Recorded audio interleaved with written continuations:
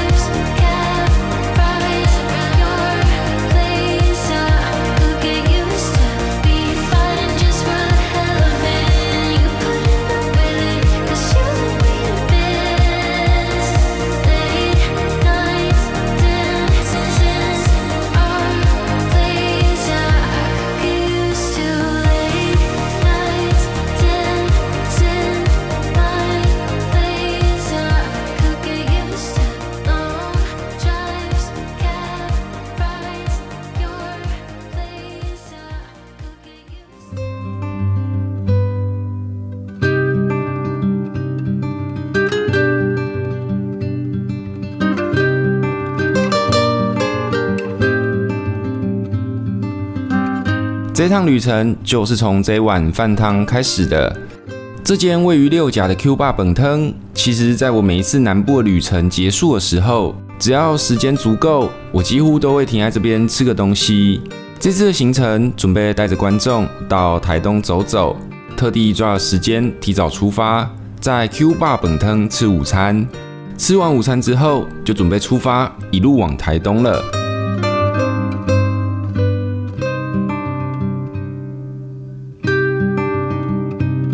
因为珍珍前一天被抓去工作了，所以这一趟算是我要独自带着观众勇闯台东了啦。虽然说今天是一个移动日，但是一路上我却骑得特别有精神。一个是因为这次的活动距离上一次的带观众去骑车。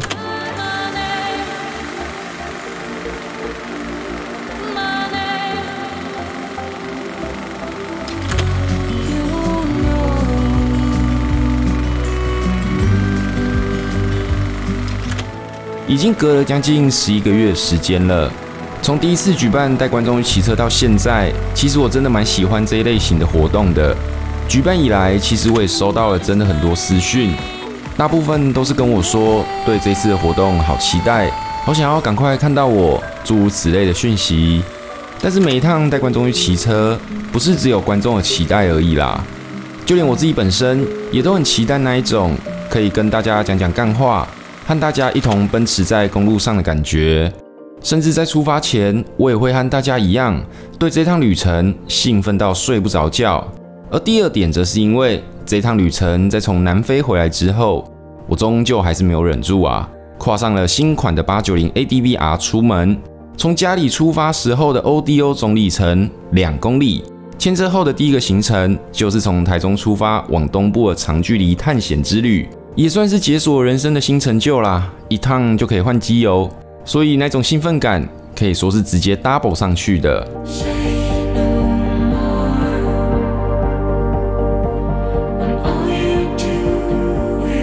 如同很多人搭心脏都会碰到下雨天一样，身为我很不想要承认，但是好像真的就是的雨男。骑新车出门旅游的第一趟，看着前面一整片乌漆麻黑的天色，淋个雨的开光仪式，看来终究还是躲不过，淋一下保平安啦。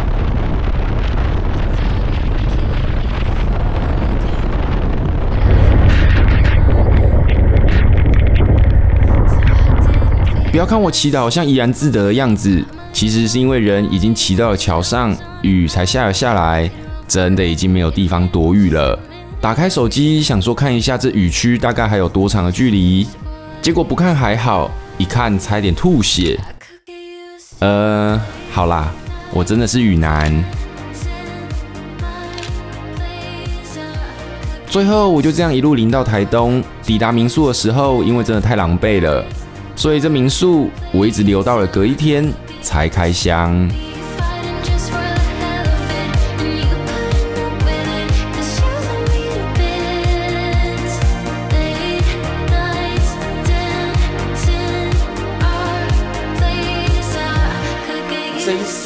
台东住的民宿呢，是位于这个台东市区附近的法洛米民宿。带大家开箱一下我们这次住的房间。从门口走进来的时候呢，我们就可以很明显的发现，就是这里其实我觉得，如果今天你是包栋来的话，我觉得它最多说不定可以容纳到二十个人，应该可以。这一次我们还有住到四人房，我可以进来吧？可以进来吧？可以啊，没有。四人房就是两张双人床、电视。这个小书桌，平常啊三五好友出来骑车的话呢，住这间空间非常的够，附了一个小沙发跟小茶几。那重点是呢，它这个外面它也有像是这样的一个露台，所以让你晚上怎么样，可以在这边喝酒，开心的聊天吃饭，衣服呢也可以晒在外面。这次台东四天三夜，我们选在靠近市区的法洛米民宿，环境整洁，房间的空间也很大，甚至连沙发。都很好睡，然后啊，重点是这个民宿啊，除了它的床之外，这个沙发也非常的软。我们就有一个人呢，他会打呼，然后怕吵到别人，所以他就两天都躺了这个床。可是我觉得真的比房间的床还要舒服，真的超软，很舒服哎。我靠，哎，对不对？这个温度，这个温度，温度，把你的身体包起来。哎，真的，我先整个这样枕头，枕头，枕头吸一下，枕头吸一下，好恶哦，有个卤味。很适合像是我们这样一群人骑车到这边的骑士。门口也停了下几乎全部的车辆。以一个人住两个晚上的住宿费不到一千八百元的价格来看，我觉得真的是蛮亲民的啦。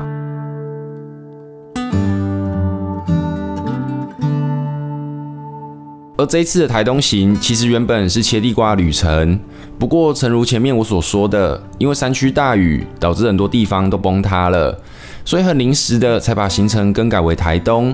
也因为原本是切地瓜旅程，所以这次我们招募的车友们数量其实偏少，一共是十四位朋友参与，秉持我们的精神，不限车种，不分年龄，所以这次的年龄层非常之广泛呐。有老爸带着读高中的儿子一同参与，他们是一对父子档哦。爸爸骑 C R F 一千一 L 非洲双，弟弟呢坐 C F 一千一 L 的后座。重点是弟弟呢 今年几岁？十五，十五。大家应该会很好奇，说为什么今天这个平日他在这边？为什么你在这边？可以讲，因为有跟老师请假。来参加我们这个带观众去骑车，他特地跟学校请假。真的是感觉对他非常抱歉，下次要约一个六字的。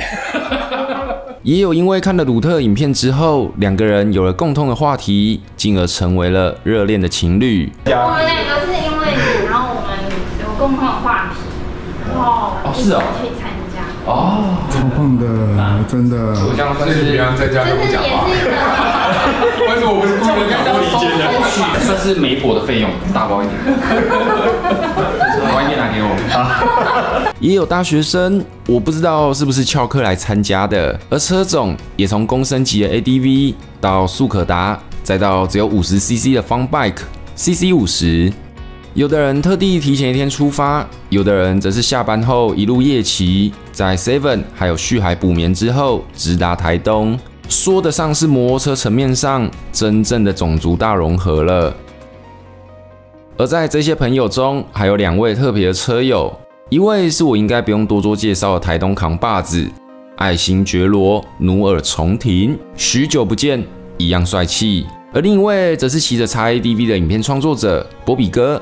波比是只猫，叫波比哥。那我本身呢是经营宠物频道，他养了两只非常可爱的猫，蓝猫。俄罗斯蓝猫。现在要多一只布偶猫。对，从他的频道你就可以看到很多猫啊，还有他骑摩托车的画面？其实骑车的画面比较多，骑车的画面比较多。相信这三天在这一群热血骑士的陪伴下，我们一定是可以玩得很开心的。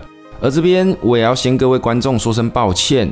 我在打完脚本之后发现，因为这一趟我们的天数比较长，行程也蛮丰富的，所以这一趟的台东行我会把它分成上下集，不然完整的影片时间真的是有点太长了啦。好啦，介绍完大家，我们也准备启程喽。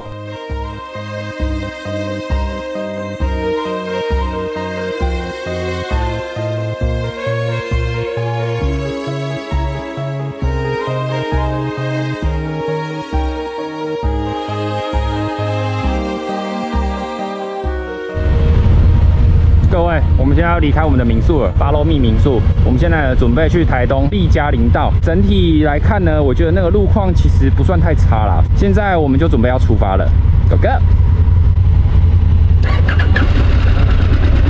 移动日的隔天早上，在大家都到民宿 check in 之后，我们也在中午的十二点集合完毕，准备展开我们这一趟的第一个行程了。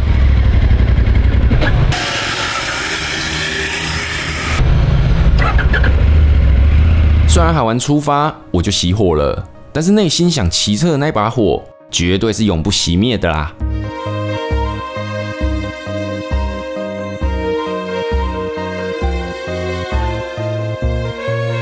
现在骑在我面前的这位哥，我都叫他 CC 哥。前一天下班，他直接从台中北屯跨上了他老婆 CC 五十出发，他骑了一整个晚上，到台东的时候已经是早上超过十点了。真的可以说是完整的骑爆了。现在回想起来，其实我不应该叫他 CC 哥，而是应该叫他猛哥才对。从民宿出发，我们经过台东市区，骑了大概十分钟，在 Seven 停了下来，打算在这边买个水，再接着出发。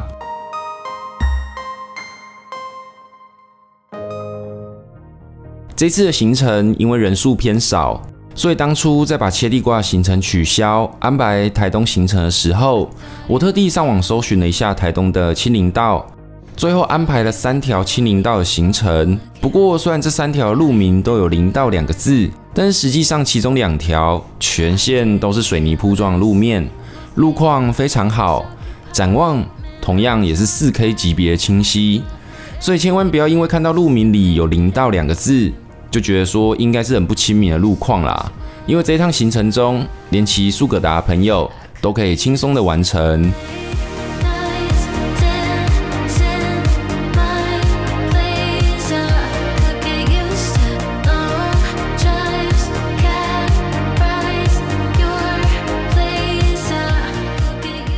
丽嘉林道入口处位于卑南乡的大八六九部落附近，大八六九部落又叫泰安部落。你可能没有听过这个部落的名字，但是我相信这里出了一位名扬四海的艺人，在华语流行乐坛中有着极高的影响力与地位。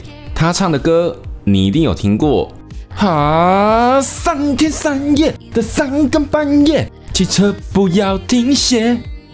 好啦，我唱歌其实真的不太行啊，但是没错，这个人古力来阿密特张惠妹，大家都叫她阿妹。不过，虽然大八六九部落中出了一位这么厉害的人，但实际骑进部落里，你可以看到这里还是保持了朴素的样貌，并没有利用阿妹的知名度来宣扬光光，所以在刚骑进林道入口处的时候，整个部落里给我的感觉真的非常的安静、淳朴。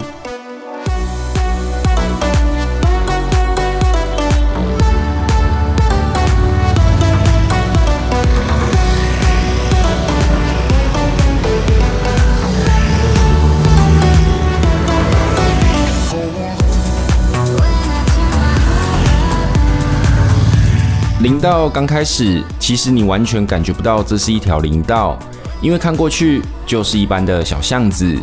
直到经过让人肃然起敬的军人公墓之后，路幅才会慢慢的缩减成单线道，路况相对刚进入的入口处也会变差一点。不过沿途其实都是有水泥铺装的路面，所以还是可以轻松的行驶的。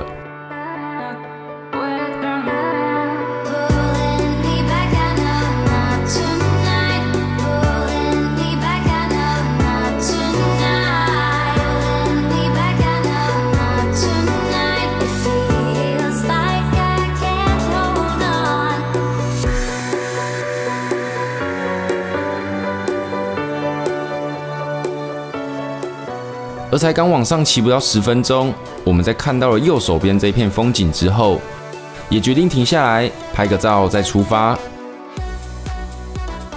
我们现在呢停在这个产业道路的路边。那这条产业道路呢，我目测应该是很少人会来了，应该是只有一些果农会来而已。因为我们从下面上来的时候，基本上都没有什么没有什么车，没有什么人，一路上都没有遇到。从我们停车的这边呢望过去，个 view 真的很棒，可以直接看到太平洋，很赞啊！然后又加上呢，今天天气真的非常的好。然后我们现在呢，准备要继续出发了，小哥。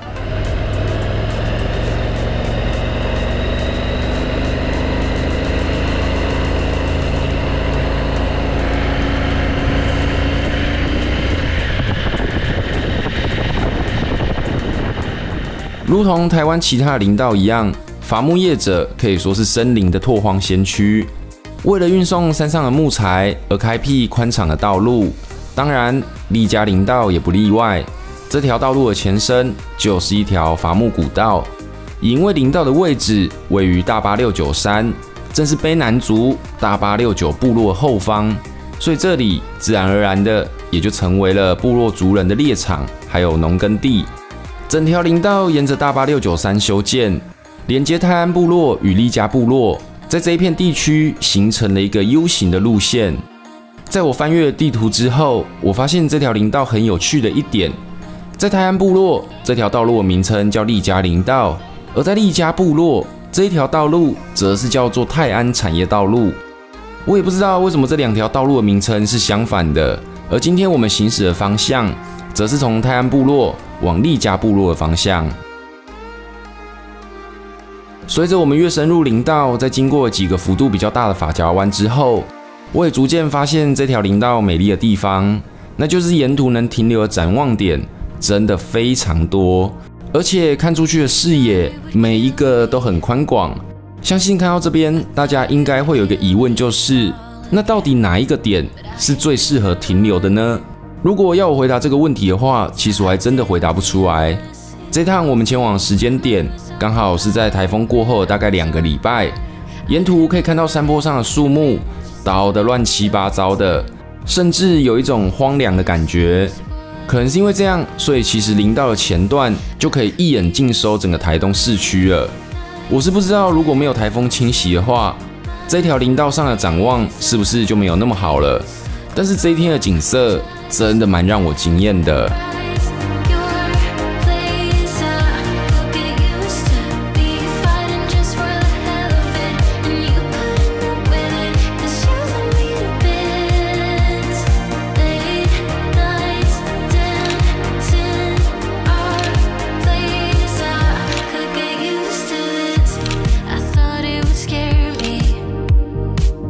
山底下呢，骑上来大概骑了应该十五分钟、二十分钟接近。那我觉得这条林道啊，其实这一路上呢有非常多很好的展望，像我们现在后面就是这个展望就非常的棒。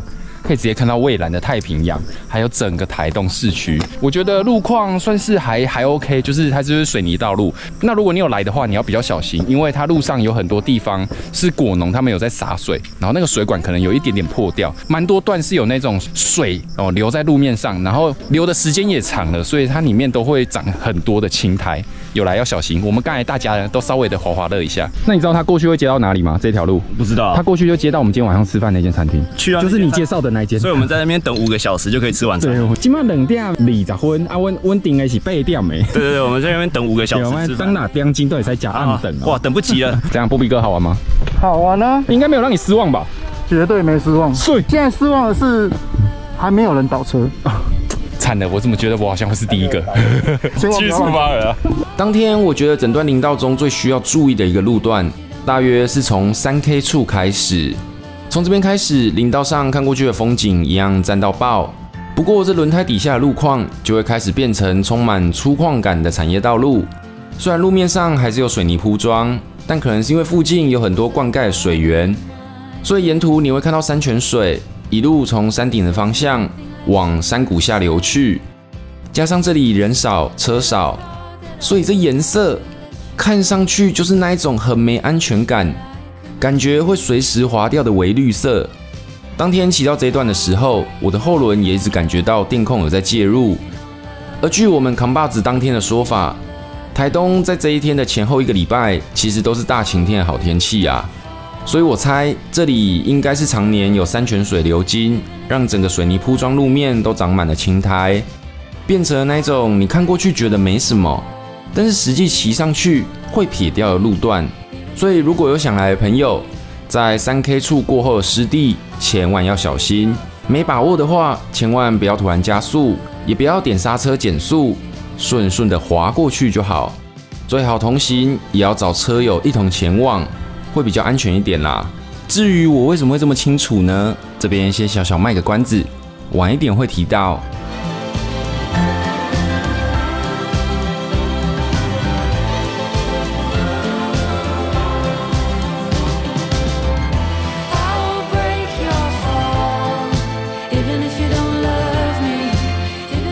利家这个词源自卑南族语，意思是在肥沃的土地上长出茂盛的姑婆芋。我查了一下姑婆芋的生长环境，发现了一个重点，就是环境要温暖、潮湿。所以由此可知，其实利嘉林道的这片区域地形复杂，环境潮湿。虽然现在画面上你应该感觉不出来，但是其实这边在午后很常起雾、下雨。而虽然提到了姑婆芋，但是在过了刚刚潮湿的路面之后，出现在视野中的更多的是槟榔树。不过幸好密度没有很高，才没有挡住后面的 4K 大景。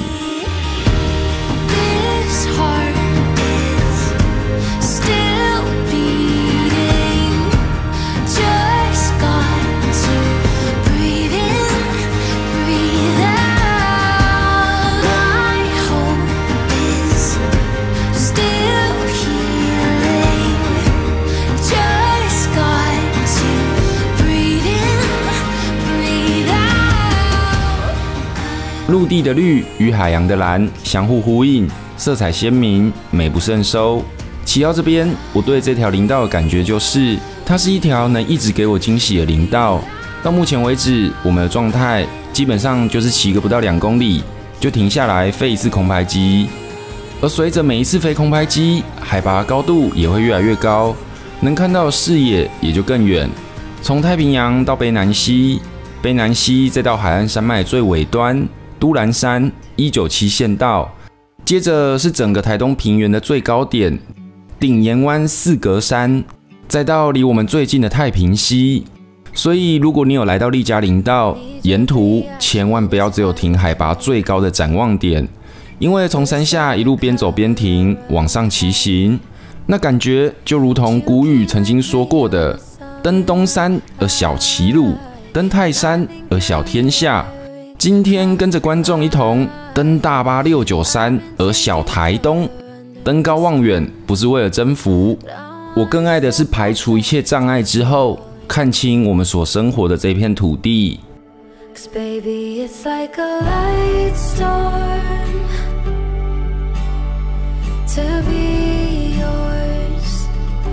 Thunder crash until the sky's torn.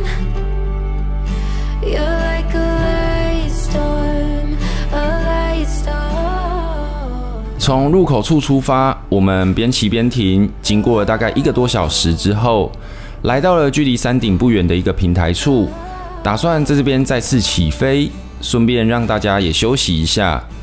不过就在这个时候，我们遇到了一位在地工作的大哥吴大哥，他很热情的跟我们分享路况，也跟我们说他在这边有一个私人的公寮，还邀请我们上去拍拍照，看看风景。而且展望会比现在我们停的这个位置还要更好。这难得的机会，当然就是要好好把握一下。所以最后我们决定跟随着吴大哥的脚步，去他的公寮逛一逛。这一条利嘉林道目前车辆可以通行的路段，大约是到十三 K 处的管制站，而这位大哥的公寮大约是位在十一 K 处，所以剩下不到二 K，我们打算留一点遗憾，下一次再前往。因为从这位吴大哥的公窑上往太平洋那个方向看过去的风景，就真的非常非常震撼了。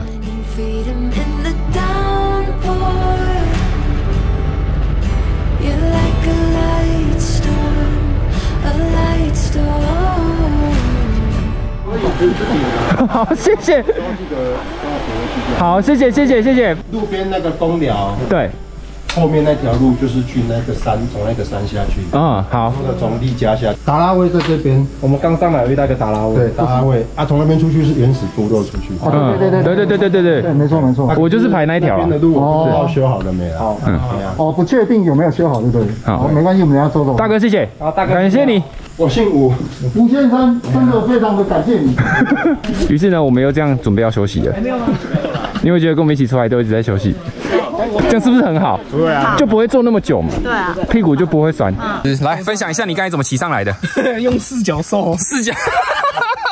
兽是形容在这个地方。他刚他刚刚不是骑上来了，他刚刚是脚夹着摩托车走上来的。对对对对所以呢，这台都上得来的话，大家就没有什么，大家就没有借口了。看到影片之后呢，赶快来，很棒的一个地方啊！不过来这边呢是吴大哥的一个工作的地方，公寮就是后面这个公寮。然后他说啊，等一下我们走的时候呢，我们什么门都不用关，然后只要把他的椅子呢复原什么之类就好。然后这边有厕所啊，可以让我们用，非常的赞。这台东人真的人都很好哎，难怪我这么喜欢台东。难怪要一来再来嘛，对不对？难怪真的是一来再来。没错啊，这个景配上这个人，然后结果吴大哥是台中人，又被摆了一道。应该是第一次骑到这么上面。我是第一次骑到这个点的，私人的公寮应该是每个人都是第一次来了，通常山区午后呢都会下暴雨，今天因为有我的关系，所以怎么样不是因为今天有你还有我，啊？我们负负得正。对一路从山下往山顶骑乘，来到吴大哥的公寮这边，海拔大约会来到九百公尺。以当时九月中的季节到那边，气温正好舒适凉爽，而吴大哥公寮的位置正好位于这座山的山顶，有着最辽阔的视野。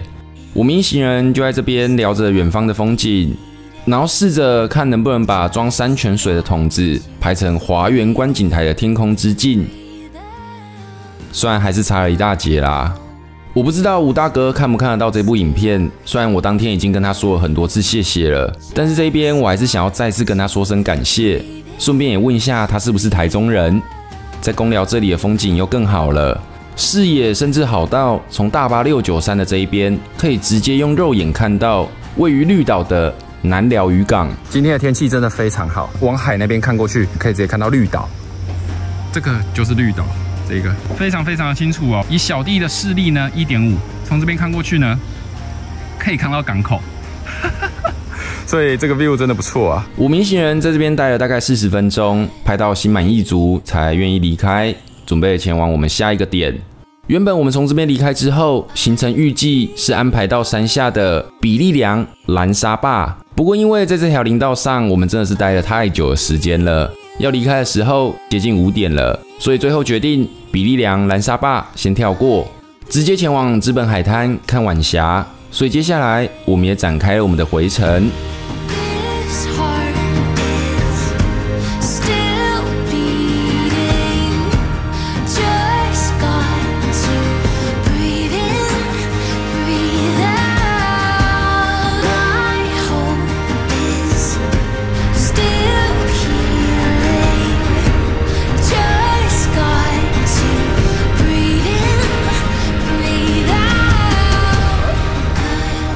来到这种沿途都是大景的林道，心情就是会不自觉放松。尤其在回程的时候，每一个弯过后，我们都可以看到整个台东市完整的出现在我们眼前。可能从荧幕上看到的画面不是那么的清楚，但是鲁特真的非常推荐大家有机会一定要好好拜访一下这条林道，好骑，人少，车少，视野极佳。下次有来台东的话，一定还要再带珍珍来一次。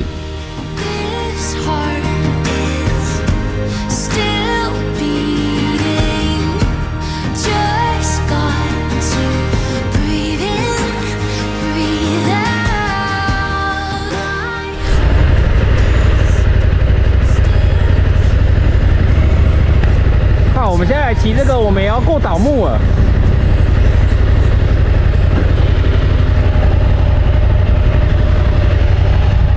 等一下，等一下，没有路。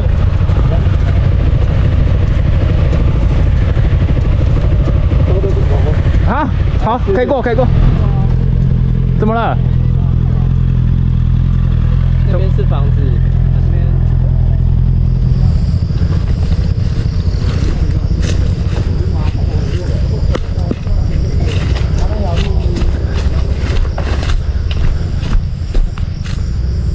他好像崩了哎。所以他说是从那边下、啊，你说，所以你说是从那边下吗？对啊，路线是从那边下，所以下面那条不是嘛？哪一条？就是这边这个那条也崩了。那一条他们说没有路，是房子。哦，房子，那就只能原路回去了。对啊，走原路回去好了。走原路回去好了。哎，哦，一台一台来好不好？一台一台来，因为这里太太太斜了。而回程的时候，我们原本预定要走的路，也因为前阵子的台风崩了。其实我原本就有心理准备，说这一趟应该是有很多路段是有封闭，或者是路基消失的状况会发生的啦。所以遇到了，倒也没有太讶异。骑到路崩塌了，其实也算见怪不怪了啦。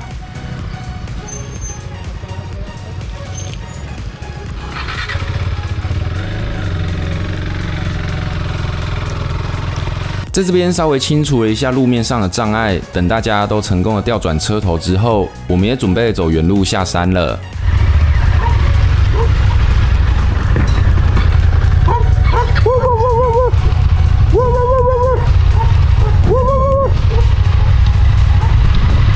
而下山则是小状况的开始。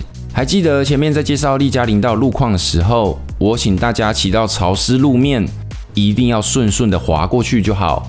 原因呢，则是因为哦哦哦！看整台车，整台车这样扭哎！Oh my god！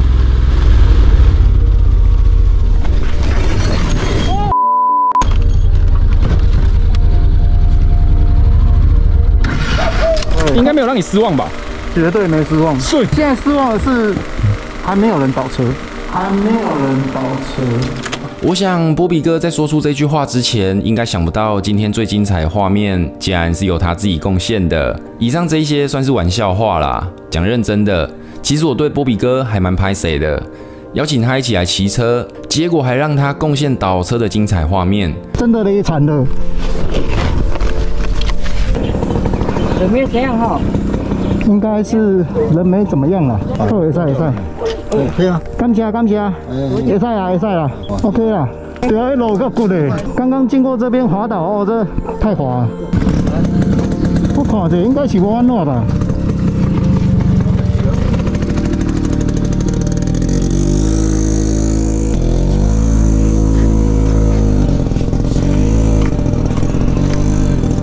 然后问重庭看这边有没有钓得到这个。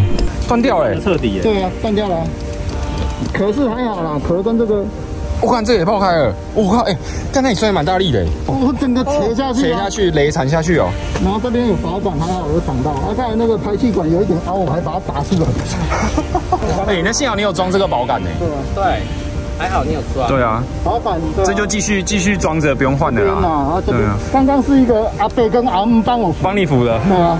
那阿那那阿姆怎么样？你知道吗？他出来散步，啊，笑脸美丽，安那，哎呀，看你把。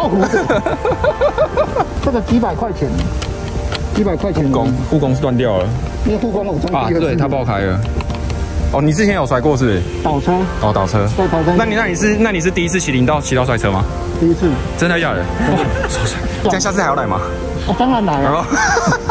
当然来。那看来你有越野魂。我非常的荣幸，成为波比哥第一个领到摔车通行的伙伴，非常的骄傲。赞，没关系啊，反正我们出来拍片本来就需要一些成本嘛。这样就是帅，对。对啊，哈。啊，你麻烦这一段哈，嗯，不要让我老婆看到。没有，我一定把你放上去。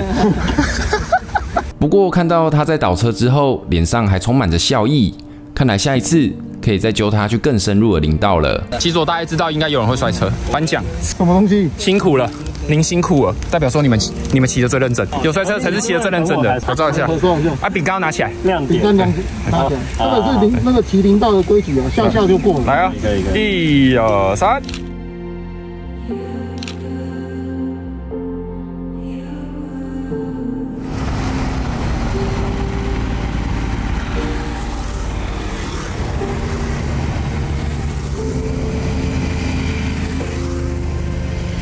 颁发完今天骑的最认真奖之后，我们一行人准备离开山，骑向海，往资本海滩出发，欣赏晚霞。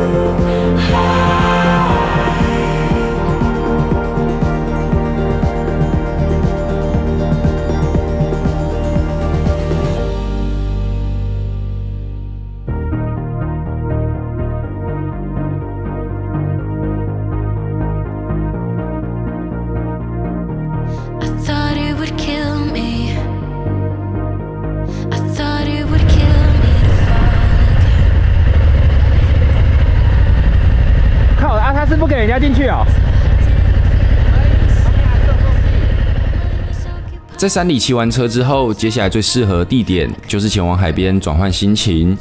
在这里的入口处有几包体积比较大的水泥石块，应该是有在做什么工程，所以才会放在这边的。经过之后，我们就可以直达海滩了。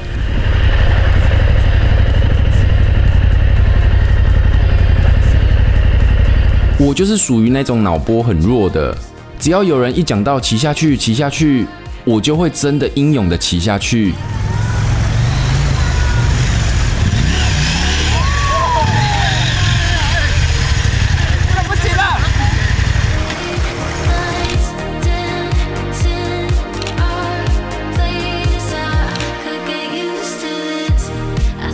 刚才进来的时候太慢了，前轮塞进去是一瞬间的，哎，就是我知道说我没办法骑了，对，因为全已经全部先进去啊。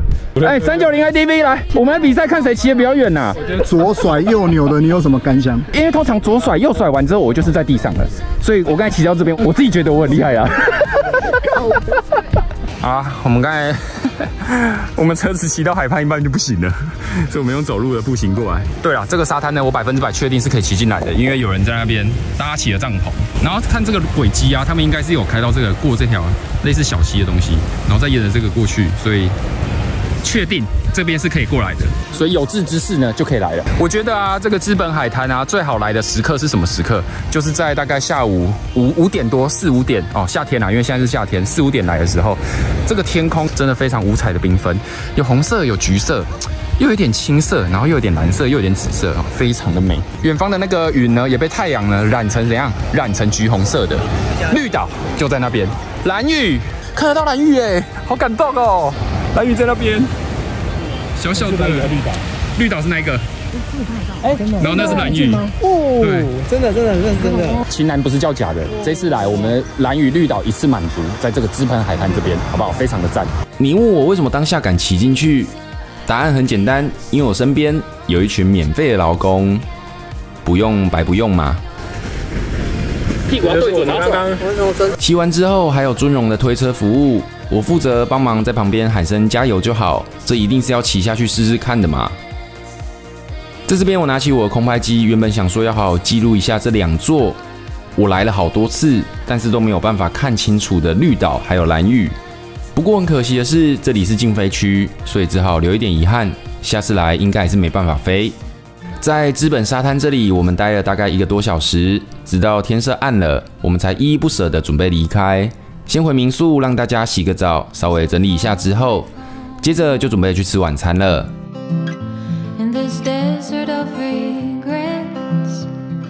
原始部落。那其实这次呢，我会挑来这边吃呢，其实是因为之前我和重庭兄忘记是去哪一趟行程了。行程结束之后，我们也是来这边吃饭。那我觉得它口味还不错，等一下大吃特吃。那时候有定位，然后点了烤鱼跟烤鸡。它很特别的是啊，今天晚上坐的是这种小木椅哦，矮矮的，非常的可爱。跟大家报告一下，其实啊，它这边还有一个特色，这边还有一个特色就是，如果我们是坐靠近那边的话，就可以看到整个台东的夜景。可是呢，因为我们今天人太多了，要并一桌，所以就只能坐这边。这个啊，一个是烤鸡，一个是烤鱼。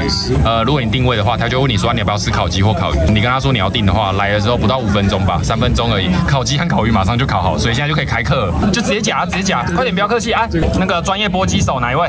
洗完零道之后啊，吃了烤鸡就是爽。晚餐地点我们又重新回到了丽家，今天吃的这间餐厅原始部落山地美食。这间餐厅没有过多的装潢，所有的设计都是以漂流木、竹子搭建，所以名为原始部落。而这里的食物，其实我上一次吃完之后，就对这里的特色餐点印象蛮深刻的。从卑南族的传统肉粽阿拜到炸蜂蛹，我们一桌十四个人点了六千元的合菜，吃的真的是蛮饱的啦。在吃完晚餐之后，我们回到民宿，接着一群人边喝酒边讲干话，边聊车经，最后才依依不舍的回到床上休息。今天的行程虽然有一点小小的意外，但是我觉得无伤大雅。整体而言，有让我大开眼界的感觉。尤其是丽嘉林道上面的风景，视野真的非常辽阔，可以直接看到绿岛。离开丽嘉林道，接着直接前往资本海滩。运气好的话，蓝屿绿岛一次满足。非常推荐大家下次有去台东玩的话，一定要去走一走。明天我们即将兵分两路，一路向北。一行人往今天原本的行程比利良蓝沙坝，另一行人前往关山镇探访另外一条同样平易近人的林道。下午接着冲击全台湾唯一有着碎石路段的县道一九七县道。骑完之后，我还当大厨，煮饭给大家吃。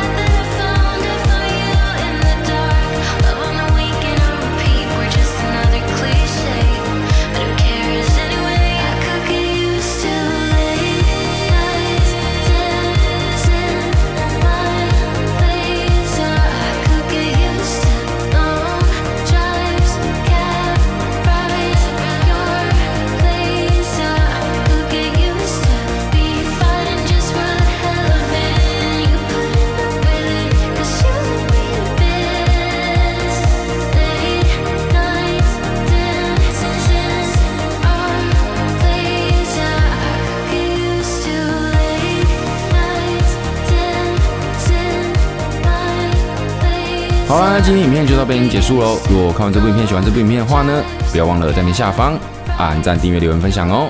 我是鲁特，我们下次见喽，拜拜。